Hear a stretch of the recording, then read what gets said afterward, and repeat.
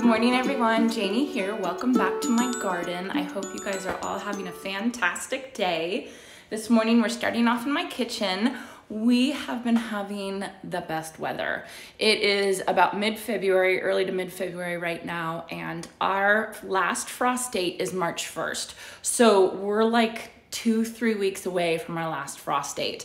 So I've been keeping an eye on the weather, and it's it's it's ridiculously beautiful. Uh, you know, it's kind of worrisome because in California, we always deal with droughts, and this is obviously going to be a drought year, so that's something that we're going to have to deal with. Um, but if you look at the temperatures, you know, I'm I'm disappointed that there's no rain in the forecast, but then I'm also like kind of happy because then I get to get out, get out and garden a lot. and um, one of the projects that I've been waiting to do because it is temperature sensitive is uh, put out my mason bees.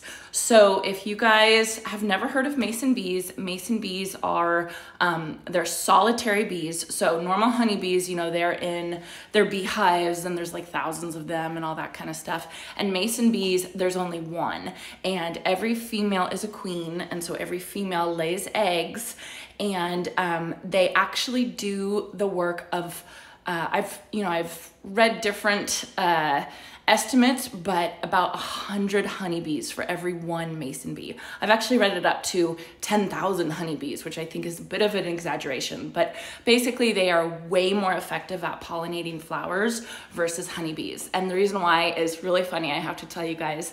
So mason bees versus honeybees, mason bees, the females have um, like fur all over their belly. And so they carry pollen in their hands and then they also get it on their belly.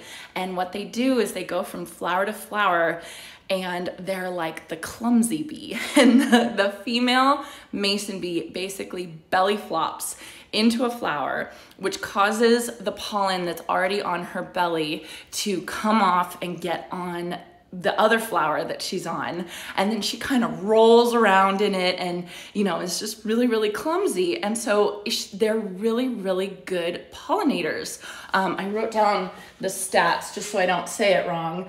Um, the the mason bees visit a thousand flowers a day and have a pollination rate of 99%. So out of all thousand flowers it visits, it pollinates almost every single flower that it visits. And that compares to a honeybee that only visits about 700 flowers a day and only pollinates 5% of those flowers. So those are crazy numbers, right? Uh, the mason bee versus the honeybee. So mason bees are really, really good pollinators to have in your garden. And the cool thing is, is that you can actually purchase mason bees and put them in your garden. Um, so let me show you guys uh, the mason bee house that I bought. So here is the uh, bug hotel or the bee house. What do they call it? Star Insect House. I got this from Wyntour Gardens in Redding. My parents live there. And basically what you need for mason bees, a living, a living space for mason bees, is you need um, eight millimeter tubes like this that are sealed on one end and then they're breathable. And what the female mason bee does is she hatches um, you know, she develops, she goes to pollinate the thousands of flowers, you know, by, by doing her belly flops. And then she comes back in here and she lays her egg and then she seals it with mud and then she dies. And that's basically her life cycle. So it's only like six weeks that she'll, um, that she'll stay alive and then you know uh, then it's just her eggs in this one. And so what you want to do is you want to have a good spot for her um, and then you can take the eggs out of here at the end of spring like once it starts getting really warm and you can store them in the refrigerator for next year. Um, so they are fantastic pollinators. You can also use this bug house for like leaf cutter bees and different things like that um, which i'm going to look at and see if i can purchase some leaf cutter bees bees because the mason bees, they are early spring pollinators. So as soon as the temperature reaches 55 degrees during the day, minimum 55 degrees, nighttime temperatures don't matter um, they they come out and they pollinate for the six weeks. And then after that that's when the leaf cutter bees come out and they do the same thing. They're more effective at pollinating than honeybees as well. So having one of these pollinator houses in your yard is really really fantastic. It helps with um, you know the pollinators uh, in your garden and everything like that. Good good for the environment. I've always seen these and i've never actually known what they were for. You know i knew they were for a certain special kind of bee but once i actually started doing the research on it i got really interested in it because just the numbers you know uh, 5% of 700 flowers for a honeybee versus 99% of a thousand flowers a day for a mason bee i just think that those those numbers are crazy. And then the other thing i'll say is that mason bees are apparently really gentle and they don't they rarely sting. So they're perfect for if you have kids or pets um, you you know you can show your kids the bees and show them working in the flowers and everything like that, and the kids don't really have to be scared of it. So that's just another plus to have mason bees. You know, I just I I just think they're really cool. I think they're a fun thing to do. So you guys should look. Um, I will link below a website that has tons of information, and uh, on that website you can actually purchase mason bees. But from what I've read, you want to get like local mason bees, you want to get region specific. So you just want to make sure that you get the right kind. Like I said, I got my bees from Wyntour Gardens, which is about two hours away from here. So I still consider that region specific. Um, and I don't know if my local, my local, local garden center sells bees. I know they sell like ladybugs and um, I think lacewing larvae, you know, and stuff like that. But I've never actually seen bees for sale for there, but I'll have to ask them. Um, so anyway, what you do when you get the mason bees, you actually store them in the refrigerator. Um, so if temperatures are below 55 degrees, like they would be in a fridge, then the bees are in hibernation. So they're in their little cocoon eggs and they're hibernating and they have enough fat stores in there to totally survive. And so then, like I said, once the temperature gets warm enough, you just take the little box out, you open it up, and then the bees will start hatching. And then they'll find their spot um, and then and then get to work. So let me show you in the fridge my bees. So I've just been storing them in my fridge, in my little butter drawer. And here they are right here. So they come in this little box. Let me get out of the fridge. They come in this little box, and um, on the on the box it says once temps are above 50 degrees or flower bud starts to swell, remove packing material and place open box next to nesting material, which would be this thing. Um, and so there are hatching tubes that you can purchase from that website that I was talking about. Oh, I can't do this with one hand. There are, um, you, you can buy the hatching tubes, but it sounds like you don't really need it.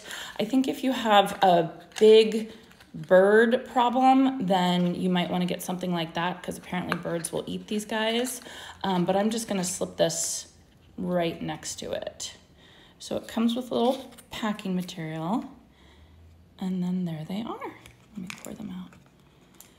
So this one came with 10. So you can imagine that's basically equivalent to, I mean, at the at the low estimate that this is equivalent to what is that? Uh, a thousand honeybees. So, and then the other thing is that the mason bees will travel within 300 feet of their home that you that you make for them. So, 100 yards. Um, you want to make sure that you have blooms or at least buds on some flowers within 300 feet of their house, or else they're going to go fly away and they're going to find more blooms, you know, and then they're going to build a house there. So you'll, you'll have wasted your money and then you won't get the pollination in your yard. I am getting tons of blooms. I have my daffodils opening.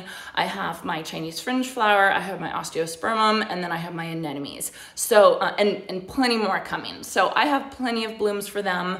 Um, I don't know how long it takes them to actually hatch. I think it's, it varies, um, you know, over, over a week or two. Um, but, you know, this week is going to be so warm, so I'm sure I'm going to get plenty more flowers. So let's go outside and I'll show you guys where I'm going to hang it up. Okay, so we're walking over to this side of the house that I've been working on a lot. So let's see. This side of the house faces north. Um, the backyard is the south side of the house, but I don't think we have enough blooms back there yet. So I definitely want to do it up here.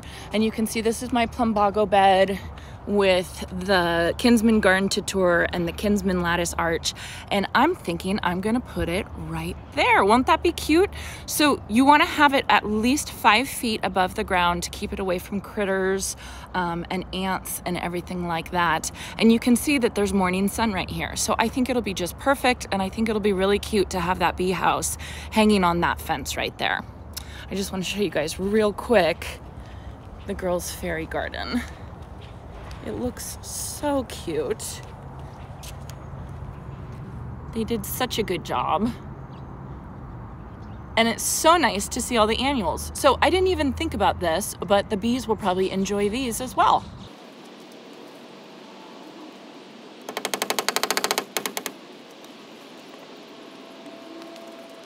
Okay, super easy.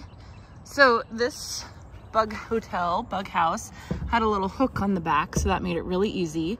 Uh, I feel like I probably should have screwed that in because I felt like I was at risk for splitting that fence, um, but I didn't, so that's good, but lesson learned. So isn't that cute? So the only other thing that you need for mason bees is you need a source of mud because the females, you know, they go around, they spend their life, they pollinate, and then they lay their eggs in the little tubes and then they seal it with mud to protect it from predators. And if there's no mud, um, just like if there's no flowers, they will fly away to find a source of mud. So if you have a lot of clay in your soil and you have access to soil, like there's not a lot of mulch over it, then that's a good source. If you have really sandy soil or if you don't have a lot of clay, then you need to provide some for them. So let me show you. So I have some clay in my soil, but I don't think enough. But more of a problem is, is that all my soil, my dirt is covered with mulch. So the bees, the mason bees aren't gonna have access to any of it anyway. So what you do if you have that issue is you wanna provide them with some mud, some, some clay rich soil or mud and then you want to dig a vertical hole kind of close to the bee house. You want to dig a vertical hole and then pack it with the mud so that they have access to it. So what i'm going to do is i'm going to go to the other side of my house where my espalier is and i think that that is um, i think it's a pretty clay dense uh, soil that I have there. For some reason, it just, you know, it, it feels really sticky like clay. And I'm gonna show you guys how to do the ribbon test. And what the ribbon test is, is how you um, test to see how much clay you have in your soil. I am always distracted by flowers, but look at my clematis. These guys are about ready to bloom. I got this as a cutting. I mean, it was like this big. I got this as a cutting from my neighbor down the street and his have already started to bloom. It gets more sun than mine does. So that should be coming pretty soon as well. I'm sorry, you guys. I get so distracted by flowers. okay, let's go to the side of my house. Okay, so we're on the side of my house right now over by the honeysuckle espalier and this soil has I think the most clay content out of my whole yard so what you want to do, if you want to test your soil, it's called the ribbon technique.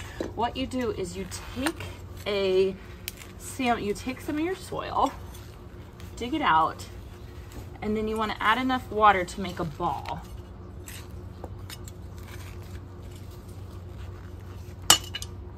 Okay, so I'm just to add some water.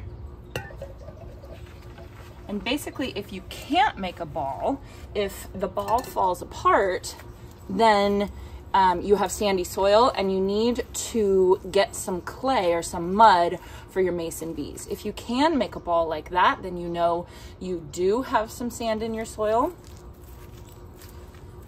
And then what you do is you start pinching it and you're trying to make it into a ribbon and see if it can stick out further than an inch. Kind of like that. So I would say there's an inch. So that indicates that your, your soil is loamy. So that's good enough for mason bees. And then if you can get it to go even further, then you have clay.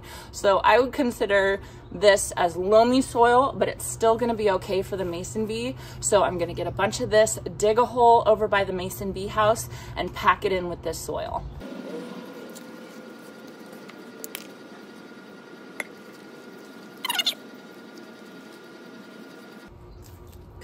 And that should be plenty for your mason bees.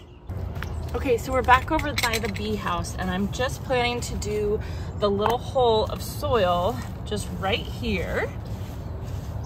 I feel like this soil would have been plenty clay as well, but might as well, better be safe than sorry. So I'm just cutting back some of this landscape fabric. And then I'm gonna dig a vertical hole, just enough to pack this ball of soil in. It looks exactly the same. I should have just done the ribbon technique with this soil. so there's the bee house, and then just below it is where I put the mud, the clay. So um, here is the ball that I got from the side of my house. And then here's the other dry soil that's right here. And it looks pretty much exactly the same. So lesson learned, check the soil that you have closest to your bee house because it might be fine. Um, so I will put a link below where you can purchase the mud mix just in case you do have sandy soil. They have a mud mix that you can mix in with it to, um, to make good enough clay for the bees to be happy. Uh, and you don't want to put the clay in like a container like that, or some people put it in Tupperware or something like that, because then it'll dry out and it needs to be wet enough so that the bees can, you know, take some of it. So um, I'll probably come out here and water it with a watering can just a couple times over the next couple weeks, just to make sure that it stays nice and moist, um, just because we're getting so hot here. But because you pack it into a vertical hole into the ground, um, then it can suck up moisture from all the other soil in the area and it keeps it moist longer. Hope that makes sense. All right, time to get the bees out. Very exciting.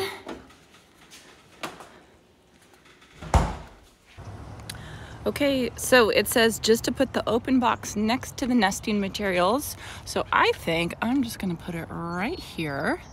Um, hopefully it doesn't get too windy. If it does, I might come out and I might like pin that right there so it doesn't fall off or anything like that. But I think that that should be good, you know, and I'll be watching just to see if the birds get interested in it. They're usually not over here. They're usually in my backyard by the, the bird feeders, which are over there.